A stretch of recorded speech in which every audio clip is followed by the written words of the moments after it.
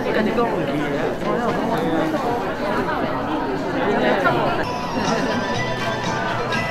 哈哈，小弟弟。哦，能不能再统一电号？哎。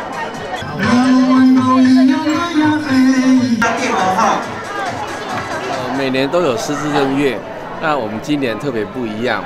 我们今年的主角是我们失智的长辈。那过去这一两年来，我们在彰化地区，我们设了非常多的失智据点。那在这些据点里面，我们让长辈在这里活动，让他们可以做延缓失能、失智的一些训练课程。那长辈在这里面呢，他们其实非常的开心，那有非常多的一些成果。哇，行好，好来行咯，卡也管哦。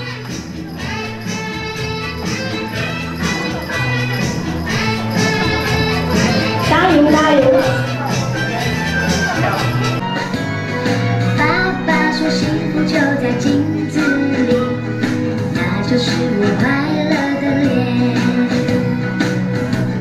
老师说，如果欲望能够少一点，快乐就会多一些。当你若发现讲你的啊是大人啊出去外口行固定的路线。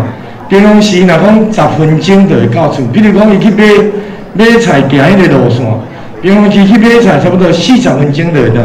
有一天发现讲，哎，五十分钟，过来一点钟，你就要问啊，伊可能要挖东要挖西，搞不清楚状况，就是判断就出了问题。然后加上吼，提早认识这个问题啊吼，啊紧找医生，啊紧找这个适当的这个场所。啊，甲伊照顾，失智本来是定定，应该讲一直发生伫咱身躯边，啊，毋嘛讲身躯边熟悉的人，连我甲家阿嬷啦吼，啊伊伊啊，今年已经已经去一个快乐的所在，啊，但伊未来这段时间嘛，发现小可失智，啊，有当时咧甲伊讲话，伊小可啊，我小可很感慨啦，吼，尾来小可袂认咧。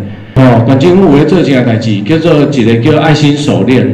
啊，若讲咱长辈行诶，诶，行到胖，诶，行较胖去吼，啊，伊些爱心手链，还是讲有爱心环，它上面可以写着电话跟姓名。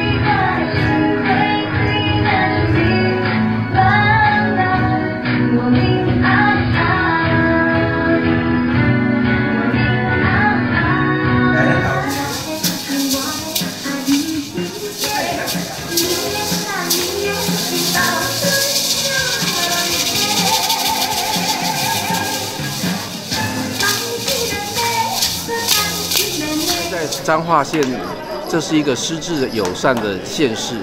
那我们希望能够提供更多的服务，让长辈在这里是一个快乐的天堂。